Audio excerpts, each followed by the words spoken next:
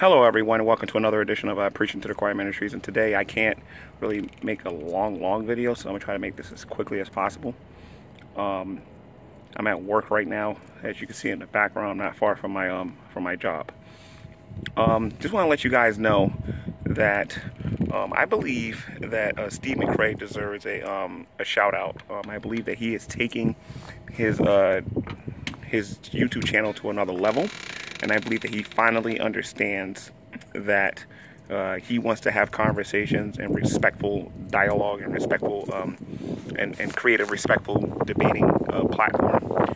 I'm not saying that I agree with his agnosticism or his atheism or anything like that, or, or a lot of his worldviews, but I do believe that his channel, um, at least, is getting serious about having respectful dialogue. However, um, if you've seen drama going on on his YouTube channel, don't really blame Steve for that, as he's just the president of the he's just the president of the GDC. Um, I would I would uh, try to ignore any trolling that goes on in there, and don't really judge Steve because of that.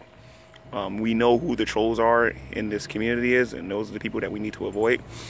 But um, I think that Steve McRae is taking it serious. He wants to have like real dialogue and and, and, and try to create something here online where um, we're able to have a place where we can go and, and have respectful debates. And, and I and I gotta give him his props for that because you know how I feel about the guy a lot of times. You see my videos about him.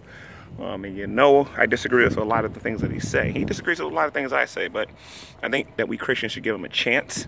And if we get an invite to go on his channel for an interview or a a, uh, a topical conversation, I think we should jump on it. Kent Hovind's been on there. I haven't heard Kent Hovind say anything negative about him. Hugh Ross has been on his channel. I haven't heard Hugh Ross say anything negative about him. As a matter of fact, from what I understand, they're saying positive things about him and his channel. So, um, again, uh, give him a chance. Go on there at least one time. If I'm wrong, let him prove that I'm wrong or whatever. But for the most part, I believe that he deserves a shout out. Um, check his channel out. Just type in uh, Steve McRae and uh, he's the president of the Great Debate Community.